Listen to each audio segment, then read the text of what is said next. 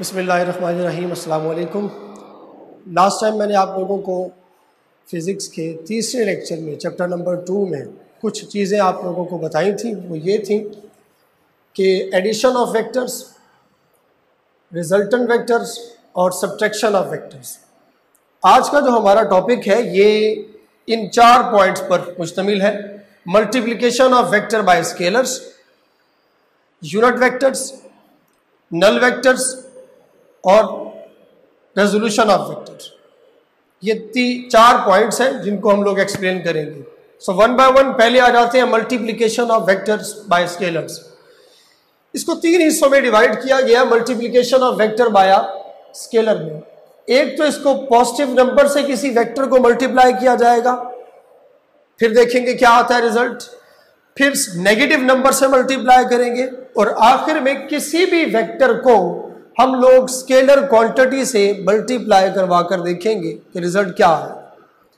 चाहे पहले देखते हैं कि when ours a vector is multiplied by a positive number multiplication of vectors by positive numbers इसे मैंने कहा है कि अगर पॉजिटिव नंबर से किसी वेक्टर को आपने मल्टीप्लाई किया है से n is greater than zero then हमारे पास जो मैग्नीट्यूड ऑफ़ रिजल्टेंट वेक्टर होगी, यानी मल्टीप्लाई होने के बाद जो रिज़ल्ट आएगा, उसकी जो मैग्नीट्यूड होगी वो नंबर टाइम्स हो जाएगी और डायरेक्शन में कोई फ़र्क नहीं पड़ेगा। यानी सपोज़ करें मेरे पास एक वेक्टर था ए उसको मैंने दो से जरब करवाया two actually is greater than zero two is greater than zero positive numbers so so, जैसे मैंने इस वेक्टर को टू से मल्टीप्लाई करवाया तो मैग्नीट्यूड तो हो गई टू टाइम्स मगर डायरेक्शन पे कोई फ़र्क नहीं पड़ा। पहले भी वही डायरेक्शन थी अब भी वही डायरेक्शन सो so, इसका मतलब यह हुआ पॉजिटिव नंबर से मल्टीप्लाई करवाने पर डायरेक्शन में कोई चेंज नहीं आता लेकिन magnitude of resultant number time हो जाती है। दूसरी बात multiplication of vector by negative so इस हवाले से अगर बात करें कि when a if a vector is multiplied by a negative number then magnitude of resultant जो होगी, वो तो हमारे पास बिकम्स नंबर टाइम्स लेकिन उसकी डायरेक्शन रिवर्स हो जाएगी, उलट जाएगी डायरेक्शन सो मैं ये कह सकता हूँ कि हमारे पास then the magnitude of resultant vector so so, वो तो बन जाएगी क्या? नंबर टाइम्स मगर डायरेक्शन में कोई डायरेक्शन रिवर्स हो जाएगी। सपोज़ करें मेरे पास एक वेक्टर था ए मैंने इसको माइनस टू से मल्टीप्लाई करवाया तो मैग्नीट्यूड तो हो जाएगी टू टाइम्स ए का डबल हो गई मगर डायरेक्शन नेगेटिव की वजह से उलट गई।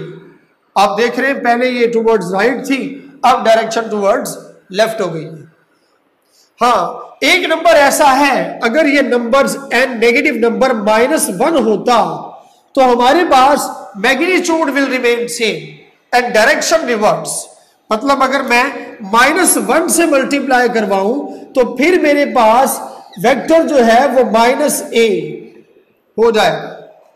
डायरेक्शन उसके रिवर्स हो जाएगी मैग्नीट्यूड पे कोई फ़र्क नहीं पड़ेगा।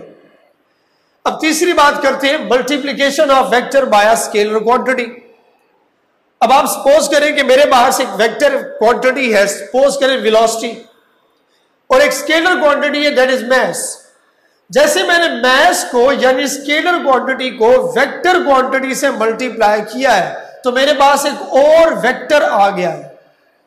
ये वेक्टर मेरे पास मोमेंटम की सूरत में है it's a vector quantity so this one is a vector while here is the scalar जबकि ये क्या चीज़ थी? वेक्टर सो so, जैसे ही मैंने एक वेक्टर को स्केलर से मल्टीप्लाई करवाया a new vector is obtained ये जो नया वेक्टर होगा इसकी जो मैग्नीट्यूड होगी वो scalar times of the previous vector हो जाएगी.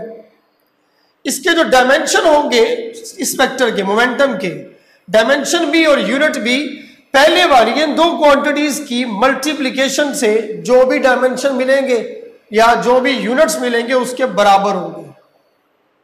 ठीक होगी बात? अब नेक्स्ट बात करते हैं यूनिट वेक्टर की। यूनिट वेक्टर क्या होता है? A vectors whose magnitude is equals to unity equals to number one magnitude one one digit as a use हो रहा है। और ये किसी स्पेसिफिक डायरेक्शन में होगा।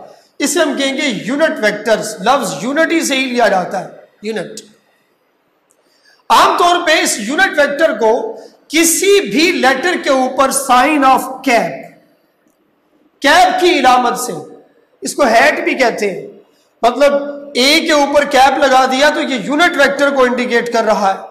पी के ऊपर कैप हो गया तो ये यूनिट वेक्टर है। आर के ऊपर कैप एन के ऊपर कैप एक्सेट्रा किसी भी लेटर के ऊपर कैप इंडिकेट करेगा यूनिट वेक्टर को। और एक यूनिट वेक्टर ऑप्टेन हो सकता है। It can be obtained by dividing any vector to its magnitude अगर आप किसी भी वेक्टर को उसकी मैग्नीट्यूड से डिवाइड करें you will get a unit vectors और इस यूनिट वेक्टर की जो मैग्नीट्यूड होगी, ये देखिए मैंने यहाँ पर मॉड लगाया इसके गिर्द। तो equal to one magnitude equal to one ये जो वेक्टर हमारे पास मिलेगा, ये यूनिट लेस होगा। हमारे पास यहाँ पर डायमेंशन लेस होगा। हम ये कह सकते हैं कि वेक्टर ओवर इट्स मैग्नीट्यूड किसी भी वेक्टर को उसकी मैग्नीट्यूड से डिवाइड करें, उसका यूनिट वेक्टर आ जाएगा। Some specific unit vectors are there for X axis हम लोग I cap I hat use करते हैं। फॉर वाई एक्सिस हम जे कैप यूज़ करते हैं। फॉर जेड एक्सिस हम स्मॉल के कैप यूज़ करते हैं। नॉर्मल डायरेक्शन के लिए एन कैप और रेडियल डायरेक्शन के लिए आर कैप इस्तेमाल किया जाता है। तो अब हम बात करते हैं तीसरे पॉइंट की नल वेक्टर की। नल वेक्टर को आप ज़ीरो वेक्टर भी कह सकते हैं। A vector whose magnitude is zero and in any arbitrary direction इसको हम लोग कहेंगे नल वेक्टर या zero vectors it can be obtained it can be denoted by O having a vector sign हम ये कह सकते हैं कि अगर आपको ओ वेक्टर हासिल करना है तो आप किसी भी वेक्टर को उसके नेगेटिव वेक्टर के साथ ऐड कर लें जैसे ही आप किसी वेक्टर में ऐड करेंगे उसका negative vectors you will get a zero vectors और नल वेक्टर्स अब एक तो सवाल है एक्सरसाइज के अंदर एक्सरसाइज में 2.9 शॉर्ट क्वेश्चन है, उसमें लिखा है कि is it possible to add vector quantity to a scalar quantity अब वेक्टर क्वांटिटी एक अलग चीज़ है नेचर है। जबकि स्केलर क्वांटिटी की नेचर इससे क्या है? हटकर है। ये दोनों की दोनों डिफरेंट नेचर्स कभी भी आपस में ऐड नहीं होगी। So we cannot add any vector quantity to a scalar quantity due to their different natures two point ten में एक सवाल हमारे पास अवेलेबल है. Can you add zero to a null vectors ये सवाल डायरेक्टली रिलेट करता है हमारे इस नल वेक्टर वाले टॉपिक से. यहाँ उसने कहा है can you add zero to a null vectors यहाँ अगर देखा जाए ज़ीरो एक नंबर के तौर पर शुमार हो रहा है. नंबर